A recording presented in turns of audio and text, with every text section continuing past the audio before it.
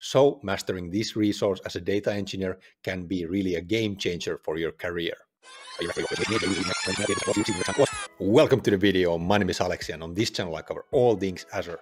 And in today's video, I'm going to reveal you the top four picks out of all the Azure resources that every Azure data engineer should learn. In my opinion, these four resources are the cornerstone of Azure data engineering. So if you're Azure data engineer or planning to become one, you don't want to miss this one out. The number one on our list is Azure Storage Account. It's not an overstatement to call this the backbone of Azure Data Services. And now let's dive a bit deeper into why every Azure data engineer should master this resource. Azure Storage Account provides you a highly scalable, secure, and cost-effective solution for all your data needs. It's like your digital warehouse in cloud where you can store everything from the raw data to very structured information. In a world where data is the new currency, Azure data engineers that can harness the power of Azure storage are invaluable. Whether you're working with massive datasets or developing data-driven applications or ensuring data security and compliance, Azure Storage Account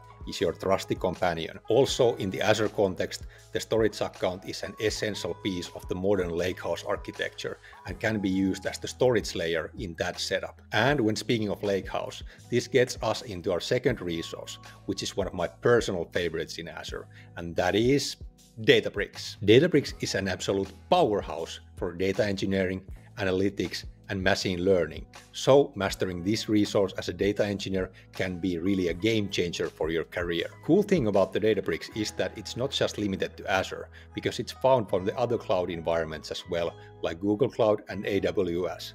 So, if I would have to pick one resource for Azure data engineers to master, it would be this one. I like to refer Databricks as the Swiss army knife of Azure data engineering, since combined with the storage account, you can basically build an entire data platform by just using these two resources as the backbones. And the modern lakehouse architecture is based on this idea that you can use Databricks as the compute layer and then the storage account as the storage layer for your entire platform. And I'll promise that I will be making videos about Databricks and the Lakehouse to this channel very soon. Even though Lakehouse trend has been going strong for past couple of years, we can't still neglect our third resource, which is Azure SQL Database.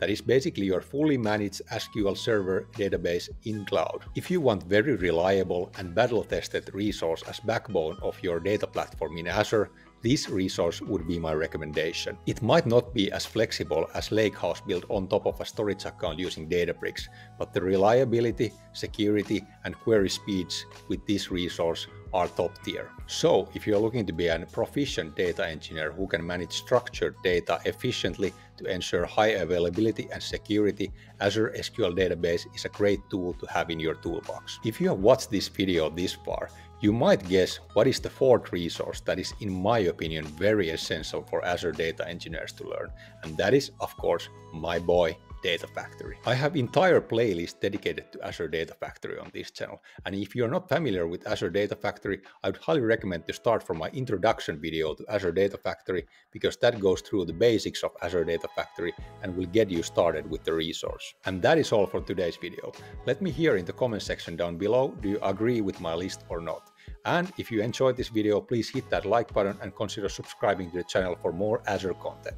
See you in the next video.